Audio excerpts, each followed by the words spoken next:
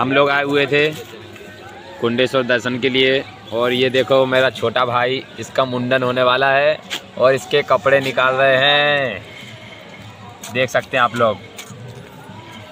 देखो, दिव्यांशु का मुंडन स्टार्ट होता हुआ। आप सब देख सकते हैं।